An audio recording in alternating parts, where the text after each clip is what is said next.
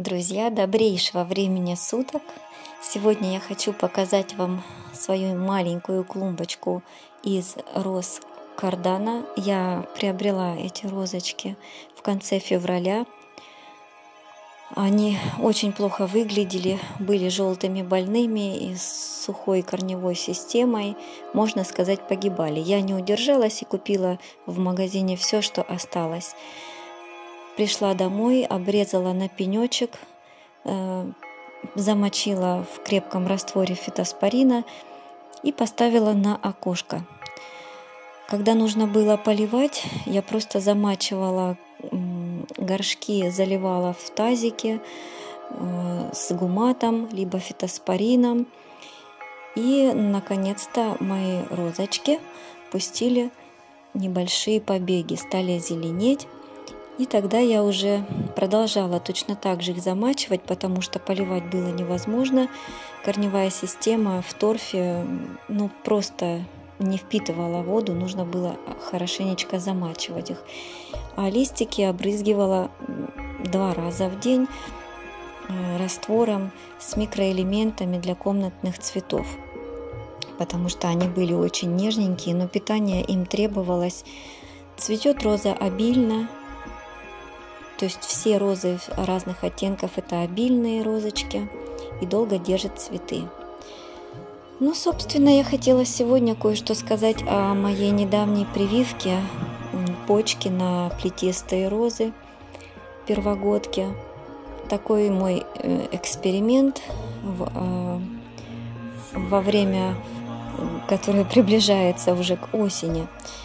Э, и Аня с канала творчество в саду и не только, которой я всегда прислушиваюсь к ее советам, а, сказала мне, что все я правильно сделала, но розочка, чтоб я не пугалась, вернее, почка может не проснуться в осеннее время, да и не, нежелательно, потому что уже скоро холода, и э, растение это чувствует так выглядят пока мои почечки. Я прикрыла ватным диском для того, чтобы на южной стороне, где посажены розы, почка просто не высохла.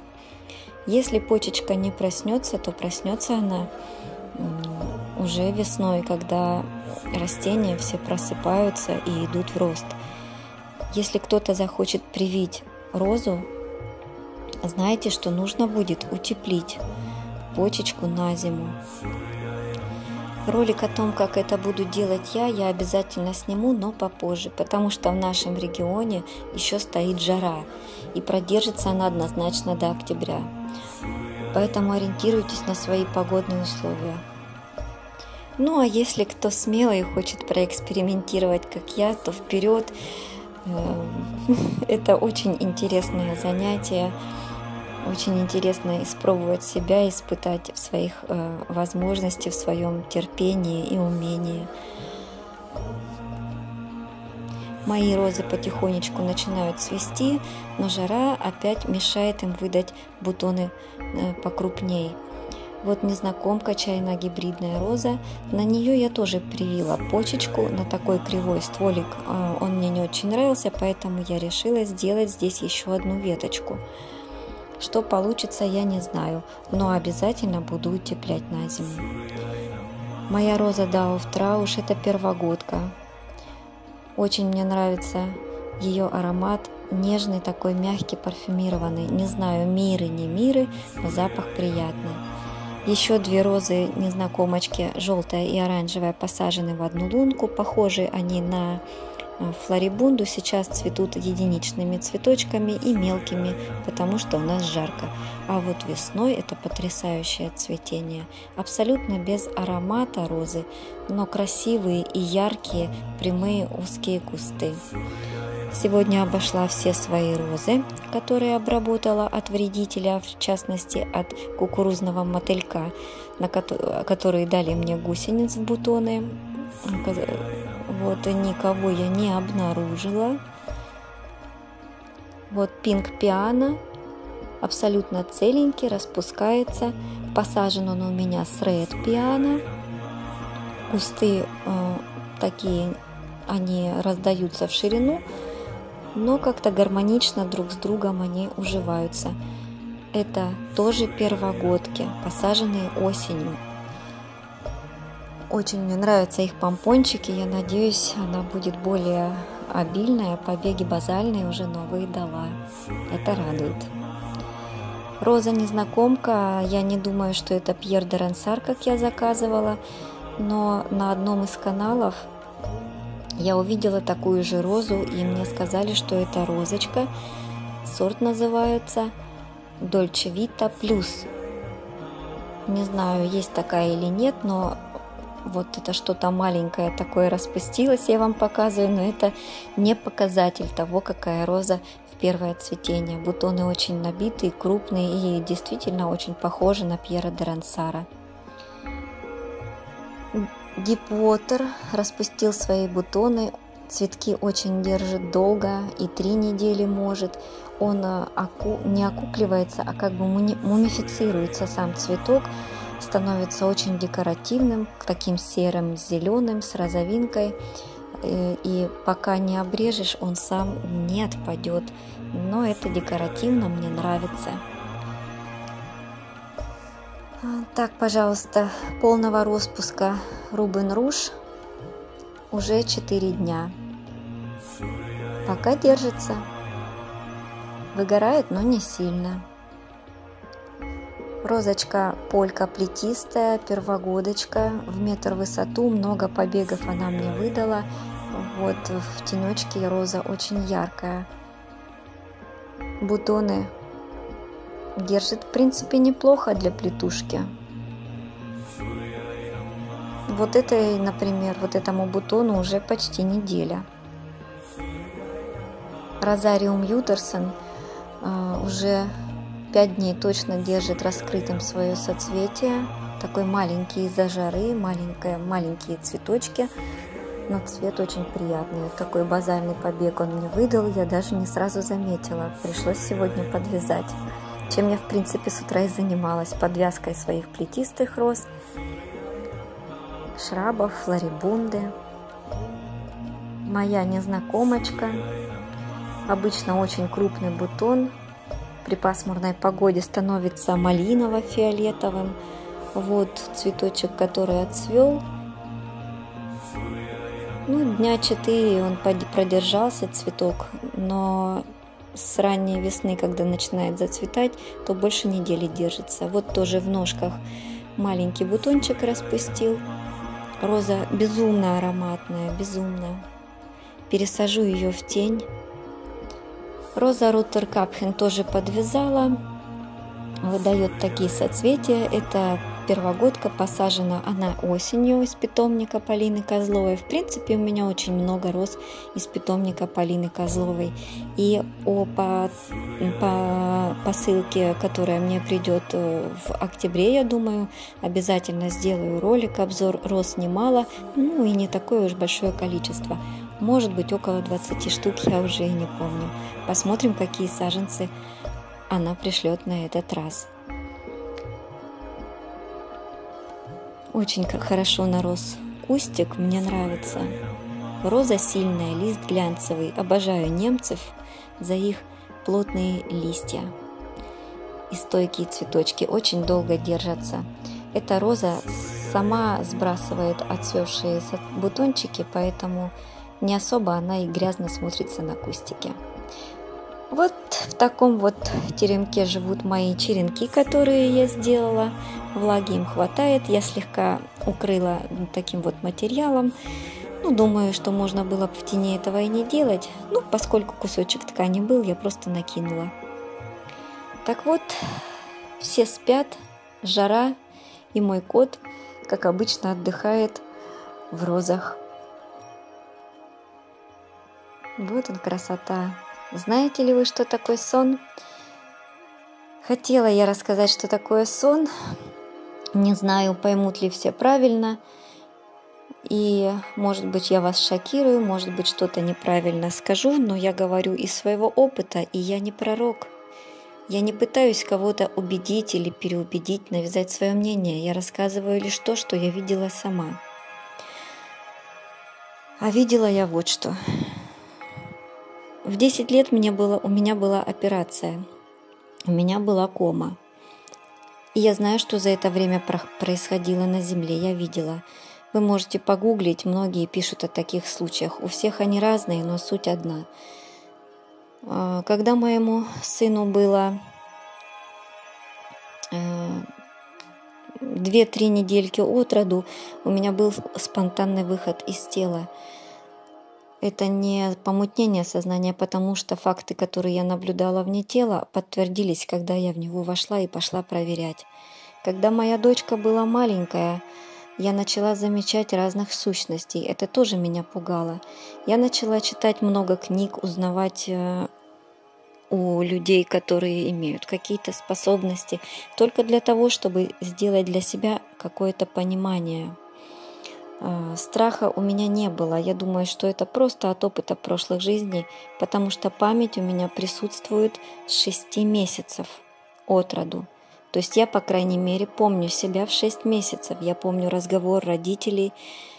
А, я помню то, что если кто-то звонил в дверь, в дверной звонок, мы жили в квартирном доме, я знала всегда, кто зайдет, хотя с этими людьми меня в этом возрасте уж точно не знакомили. Я понимала даже разговоры родителей серьезные, на серьезные темы. И меня это удивляло, честно говоря. Я даже помню, как я была в утробе матери, поэтому если кто-то не верит, э, не надо списывать на то, что я говорю какую-то ерунду. Это лишь мой опыт. И если я кому-то помогу в чем-то разобраться, я буду благодарна прежде всего этим людям. Потому что это большой подарок, когда ты можешь кому-то помочь. Если кому-то не нравятся такие разговоры, то я ведь не заставляю вас слушать меня. А, так вот, хотела рассказать кратко о сне. Я знаю, что у нас есть несколько тел. Когда наше физическое тело засыпает, а, первое тело, которое находится ближе к нам, это эфирное тело. Его можно увидеть, если сфокусировать наш физический глаз. Это тело эфирное, оно далеко не уходит. Потом из этого эфирного тела выделяется астральное тело. Это астральное тело уже связано некой пуповиной, и оно может на неопределенное расстояние отдаляться от физического эфир... и эфирного тела. То, чем оно там занимается, это уже другой вопрос. Я просто хочу пояснить, что такое сон, когда вы просыпаетесь и говорите, что вам что-то приснилось. Когда астральное тело отдаляется от физического, оно поднимается в определенные Э, энергополя. Это не расстояние, это не время, это просто э, другое пространство. Из астрального тела уже э, после астрального тела появляется уже каузальное тело. И вот это каузальное тело и показывает то, чем занимается, как мы говорим на Земле, душа, когда физическое тело отдыхает, спит. И представьте, что у каждого этого тела свое сознание. И когда возвращаются все тела в физическое тело при пробуждении, наш физический мозг с ограниченным пониманием, восприятием мира интерпретирует это другими картинками, но никак не с точностью о том, что якобы что-то приснилось, и это должно сбыться. Единственные люди, которые умеют расшифровывать, это люди которые понимают следственные какие-то связи, которые очень хорошо себя знают изнутри. Я не говорю о внутренних органах, я говорю о своем духовном развитии, восприятии, чувствовании, понимании не только физического мира, который заметен глазу, но и той реальности, которую мы не видим и зачастую многие отрицают. Я хотела бы еще немного уточнить про все те тела, которые у нас есть, что каждое из тел по-своему воспринимает то, что делает, видит, чувствует. Это все равно, что у нашего тела есть уши, нос, глаза, рот, а у высшего я есть вот эти вот помощники, вот эти тела, которые выполняют свою работу. Каждое э, тело ощущает, воспринимает и делает э, по-своему. Это как множество людей, которые по-разному воспринимают один и тот же оттенок цвета, да?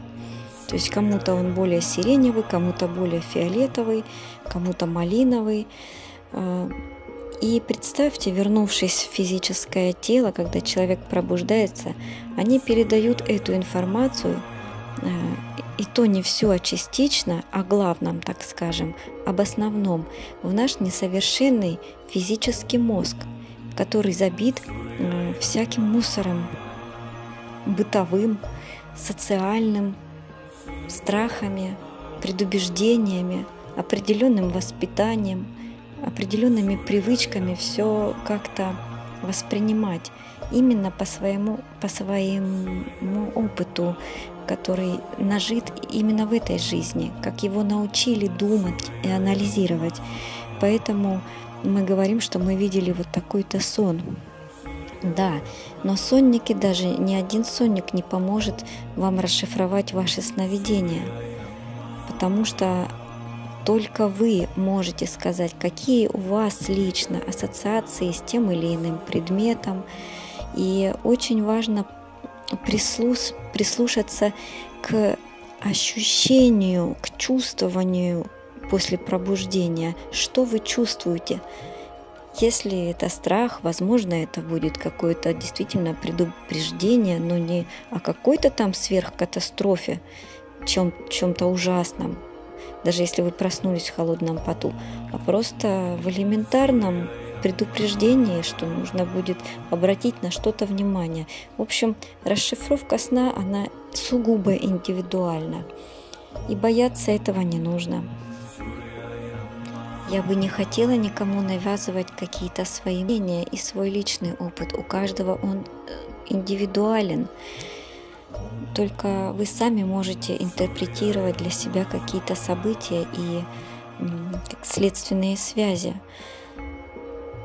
Э, я только хочу сказать, что если бы каждый человек хотя бы не то чтобы имел память прошлой жизни, а помнил себя с детства,